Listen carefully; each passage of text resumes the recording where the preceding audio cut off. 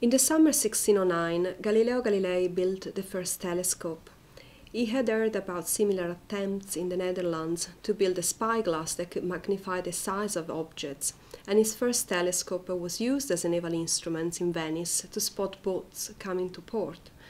A few months later, an improved and much more powerful telescope able to magnify objects 30 times was pointed to the moon and revealed mountains and craters that Galileo beautifully described in the 1610 Starry Messenger. It was unequivocal evidence that celestial bodies were actually very similar to planet Earth, pace the Aristotelian Ptolemaic tradition that claimed that celestial bodies belonged to a different realm. But more amazing discoveries were just around the corner. In January 1610, Galileo observed what he thought were four stars wandering around the planet Jupiter and in December of the same year he could observe phases in the planet Venus, which were impossible according to the Ptolemaic system.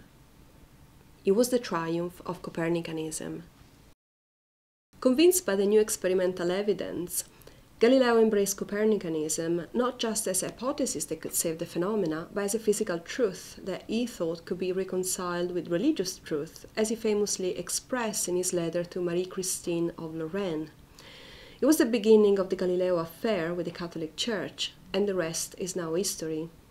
But from a philosophical point of view, what matters for our purpose here is the fact that Galileo defended what Pierre Duhem calls the method of the physicist against the method of the astronomers. He was the first one that dared to say that the aim of science is not to save the phenomena, but to provide us with a true story about the phenomena.